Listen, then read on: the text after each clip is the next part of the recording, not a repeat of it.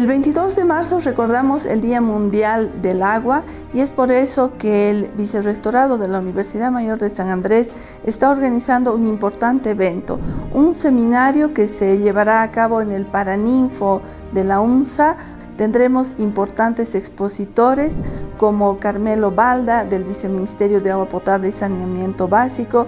Estará también presente el doctor Edson Ramírez, un excelente glaciólogo conocido a nivel nacional e internacional. Él es miembro del Instituto de Hidráulica e Hidrología. Estará el señor Bernardo Guarachi, un montañista muy reconocido y escalador profesional boliviano.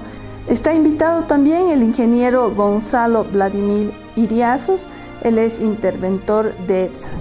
Será una jornada muy importante para hablar del tema del agua en la ciudad de La Paz. Están todos invitados y los esperamos muy cordialmente.